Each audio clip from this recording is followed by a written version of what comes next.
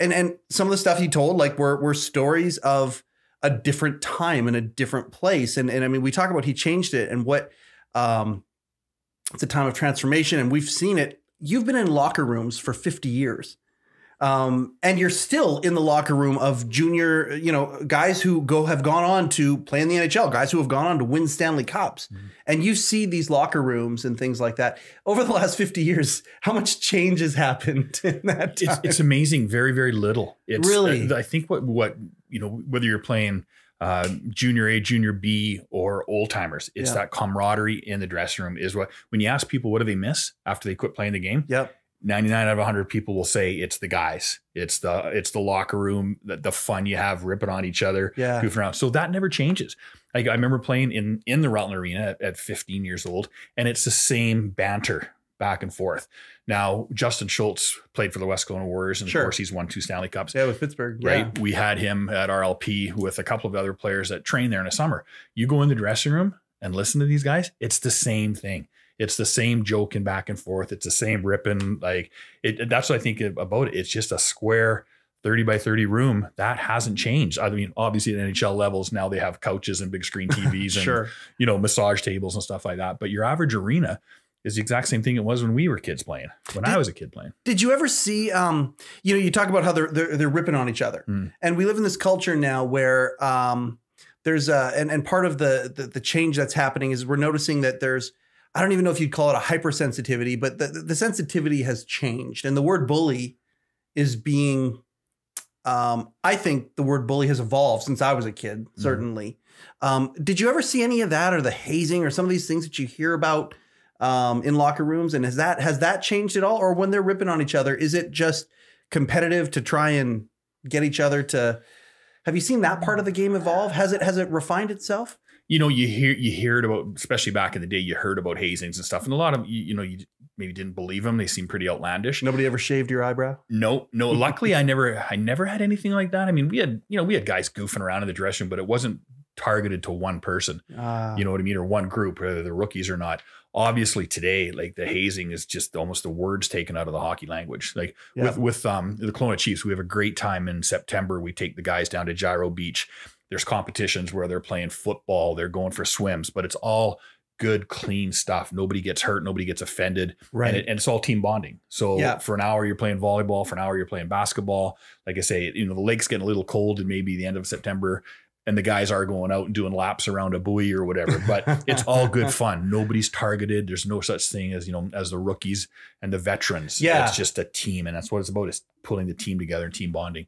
The hazing thank God is out of the game because yeah. man, oh man, some of the stories I heard, like if those were true, wow. I, I was the same way when I was a rugby player. Um, I would hear about, and, and, and I mean, I was a rugby player in Canada, which I think is different than being a rugby player in Europe. I, I we our team went on tour in Europe, mm-hmm. um, and that was uh, that was a crazy crazy experience. And and and and the players over there, boy oh boy, um, you know you you could hear some of the stories that you hear about, um, you could see that being true with some of the teams that we played over right. there. Um, but I never experienced it, but I did hear the stories, and that was always the thing too. I, I you know, you'd hear these stories about uh, things like that, and our um, the way that our society is kind of evolving and moving, and and and um, I love hearing that the conduct of a player and and the respect and all that stuff was there back then, and it still is now. Yeah, yeah, and and, and the kids nowadays, I mean, they're young men you know they're they're smart they're professional kids if if they go offside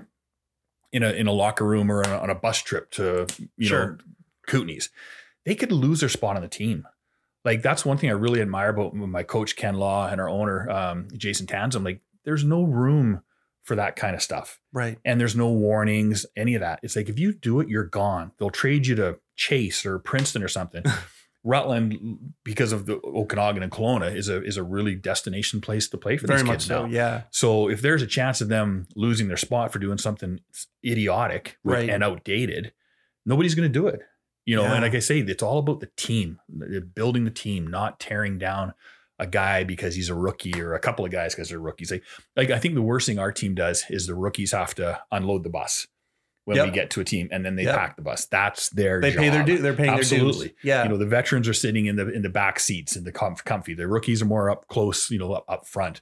So there's I mean a little bit of that stuff, but that's just seniority, yeah. right? A 20 year old deserves the best seat over a 16 year old. Right. A 20 year old deserves not to have to unload the bus when a when a 17 year old comes on board. Yeah. So I don't I don't think that is anything hazing. It's just know your role, your seniority, basically. yeah. You're you're you're teaching them responsibility as they come up and uh and and and toughening them up. And and I mean even that nowadays it's like we're you know we're trying to build character and um where I see you know to to use a, a hockey term where the puck is going. Um, I think that many times the magnifying glass gets put on organizations that are doing really really good things so they can root out things like those stories that we've heard of and it seems like your organization is very very much like that Yeah. Yeah. Um, what about what about um, when it comes to women? How women are treated? Like I think about back in the day when I was in my rugby um, locker room, and, and the idea of locker room talk. And I mean, you hear, I mean, um, you know, you've heard Donald Trump stuff that he's said in the past, and he's like, oh, it's just locker room talk, Mhm. and he's kind of made it this.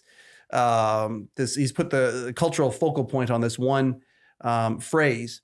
Um, have you noticed? Have you noticed that the language changing towards things like that, respect towards women um, over the years? Um, I know back when I was playing the the conversation in the room, I would not mo- want my mom walking in on. Yeah, I feel the same Without way. a And doubt, I'm the exact same way. Without a yes, doubt. that's what that's Hon- true. Honestly, the, the guys nowadays, it's really toned down from what I see. Now you gotta understand, I'm I'm not in there nearly as much as the players day to day. But, but what I do see is definitely a lot more respect. They're, they're not ripping on a guy because he's short or you know what I mean. There- There's Mhm. so many things that have, it's just genuinely good fun. Nobody's getting hurt. yeah, What happens when the coaches and marketing guy are out of the room?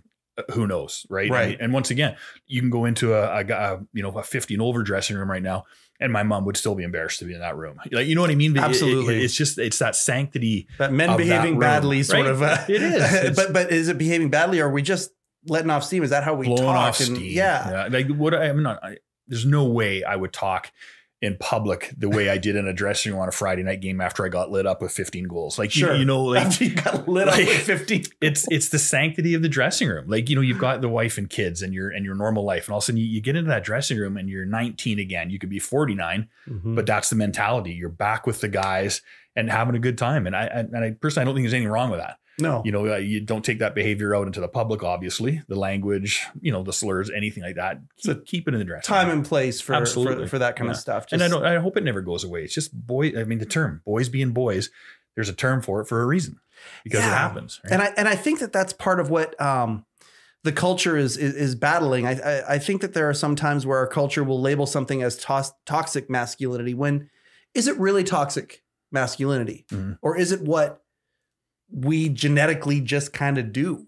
You know, you talk about like us ripping on each other. That's, that's, what guys do. Best friends do that with each other all the time. Totally. It's it's Yeah. it's that kind of a thing. I always equate it to the the girls having a party and they're sitting around drinking wine. That's their Yeah. dressing room. That's their talk that they probably don't want their husbands to hear. They probably don't want their kids to hear. And what and there's nothing wrong with that, Right. right? And as to say, it's it's just the the female dressing room. And and and you know, I've been around hockey and sports long enough where there are women's hockey dressing rooms. You know, you go Mhm. in there to get get stuff done, and you know, some of it's a little offside too. But once again, the sanctity of the dressing room. Right. Who's it? Who's it hurting? Right. Um, do you see the NHL or do you see um, do you see mixed gender ever becoming part of? Because I mean, I look at all the, the the women's teams that are like women's hockey is exploding compared to when I was a kid, Mhm. when you were a kid. Um, do you see that being something that? Um, do you see it growing? Do you see that becoming um, part of the landscape a little bit more? I definitely would love to see women's sports, um, you know, more primetime TSN sports as that Yeah. kind of thing, Sportsnet. It's it's hard, you know. Men are just physically bigger, stronger, faster. They're always probably going to be, you know. There's Yeah. there's some behemoth women out there. Serena Williams, Yeah. one of my all time faves. Yeah. I look at her and I think, good lord, like Mhm. you know, she could take a round out of me easy enough. um, but you know, as far as team sports, I I mean, I'd love to see the pay structure different.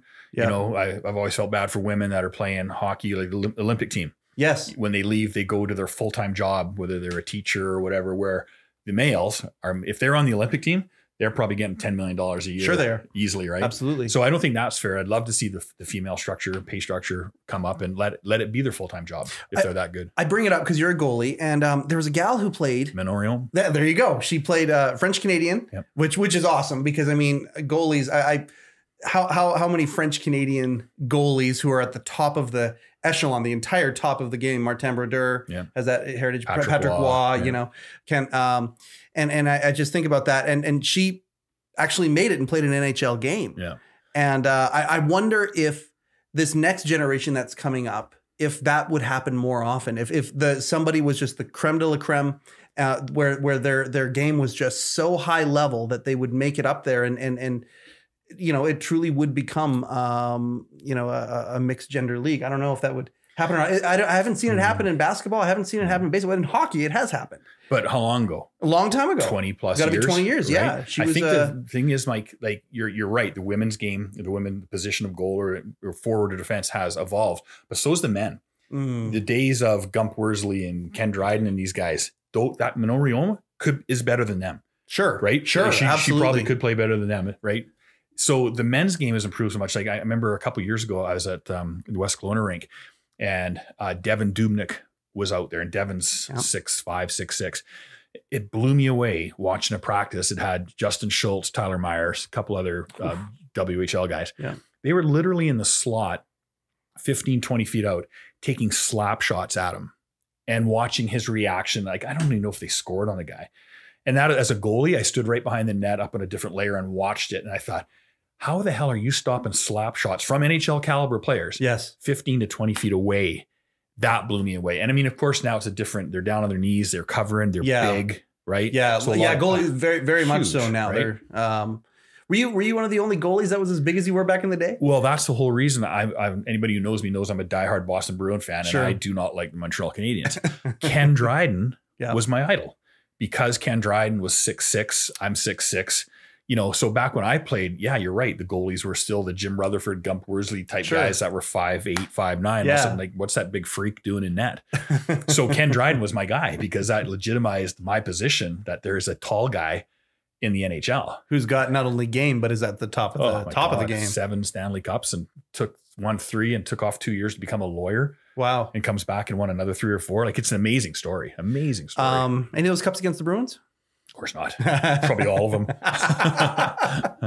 um, I, I just uh, I'm fascinated watching um, watching these things evolve, and and I'm I'm really fascinated uh, with the idea that yes, while things are evolving and time seems to time seem to be changing so much, and uh, um, and there's a lot of this. Um, there's a lot of negativity, a lot of naysayers and things like that out there. I love the, the the the fresh perspective of you coming in and saying, "Yeah, but you know what? Um, sports has always built character for a lot of, if not the majority Mhm. of of uh, of young men who go into it. And and I do I do believe like um, you know I was told, hey, go play this sport. It'll keep you out of trouble.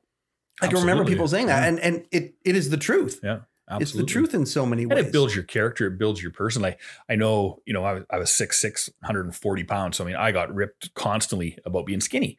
But you, Ah. but being in that room, you you learn to defend yourself instead Right. of taking it and crying.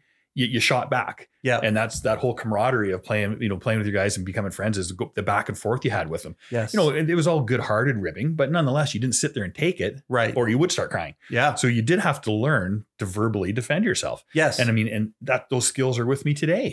You know, like I can yeah. sit and talk, and if a guy says something, I could give it right back, or you don't get offended because someone said something to you. You just, you know, give it right back to them. No, absolutely. Um, that's that's my life you just described right there. Constantly, right. you know, trying to give it back Yeah. as uh, as it's given to me, and and that's the. Uh, um, I think that that I don't know if that's a, a gender specific thing, or if that's just um, something that's evolving and and is being looked at. Um, it's being looked at more seriously. I, I read an article somewhere where it talked about um, young young young boys, like we're talking you know, before five years old kind of a thing. And how um, they just naturally pick up sticks and start fighting with each other. They Mhm. just naturally start doing it when they're when they're when they're kids. And I just wonder how much of um, genetic programming that we have as as men, and is society trying to get us sometimes to to, to go against what genetics say.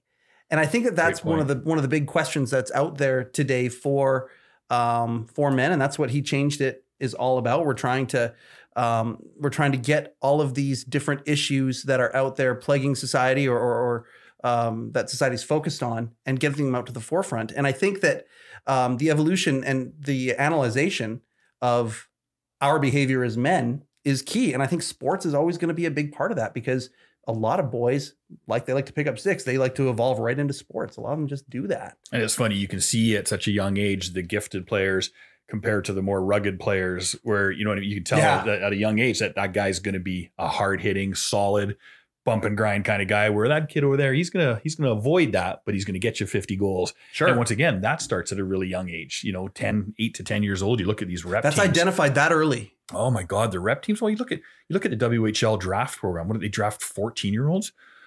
Wow. Like a bantam draft, when you know when I played it at that age, you didn't get looked at to your 17, 16, wow. 17, but now they're drafting 14 year olds because they can see whatever particular talent you need or whatever niche you need for your team. You can see that at 14 years old. Okay, is that guy going to be a grinder or is he going to be a sniper? Rarely do you change. Rarely does a sniper become a grinder and right. vice versa. You're, right. Once you're in that niche, that's kind of where you're following that path you're going to follow, right? it's happening earlier and earlier. That's that's that's fascinating. Well, um, I mean, go to Rutland Arena right now. Go to West Kelowna. There's kids eight and camps are on old. right now. They're yeah, right even now. during COVID, we've got these camps. Absolutely. Yeah. Has COVID affected uh, your season? You guys have a season that would normally begin in October. Is it still going to begin in October? And uh, are we allowed to go watch it? Well, we're going full steam ahead. Like yep. it's a normal year. We're going to just like a normal off season. They've recruited. We just had a camp last weekend. We've got more coming up. Um, the only thing different that we we know for sure is it's not going to start in September. Okay. Which is a marketing guy's fantastic. I think I've told you this before. Yeah. In September in Kelowna, you're still 30 degrees outside and nobody wants to sit. Oh, that's right. you guys started a month earlier than the yeah. pro leagues. That's right. Yeah, you're like September. September 9th, I think we started last year. Yep. So the October 2nd apparently is when we're going to kick off the schedule, which is fantastic to me because yep. that hockey is October, not September when it's 30 degrees outside. Yeah. I, it doesn't matter pre-COVID I fought this with the Warriors. I fought it with the Chiefs. Like, why are we starting so early? Just just a marketing standpoint, yep. it drives you nuts because it's not hockey season in people's minds in September.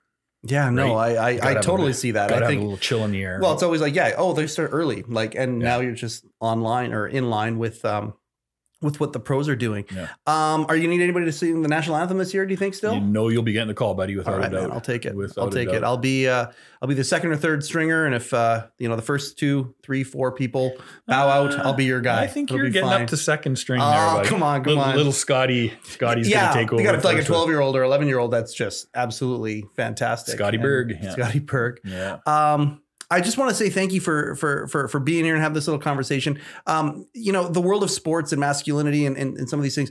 Um, the headlines are, are are there, and I think that as this stuff happens, I think we're going to have you back and we'll talk about this stuff because you're a diehard sports guy. Love Outside, you you you you work it, you live it, you love it, and uh, I'd love to have you back talking to us again. Anytime for you, Mike and Candace. Alex Draper, you are one of my favorite humans. Alexander George Draper, Alexander George. one of my favorite humans yeah. on the planet.